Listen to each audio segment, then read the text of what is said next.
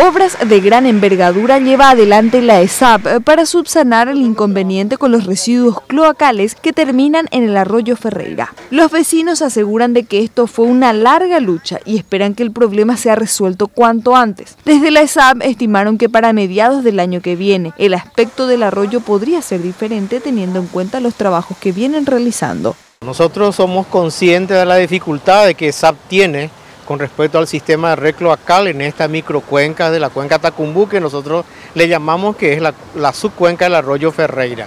Nosotros hoy tenemos dos puntos críticos en esta microcuenca. Una es la zona de Magallanes e Ingavi, donde está la naciente del arroyo Ferreira, uno de los brazos. Y el otro está en Obispo, Maíz y Pampa Grande. Ambas obras se encuentran hoy en construcción. ¿Cuál era? Rehabilitar los tramos de los colectores principales, de tal modo de eliminar esas descargas al curso del arroyo Ferreira. Hoy esas dos obras están en ejecución. Al mismo tiempo, el gerente de Alcantarillados explicó que esto también es responsabilidad de la comuna, por la cantidad de basura en el lugar, como así también de la ciudadanía.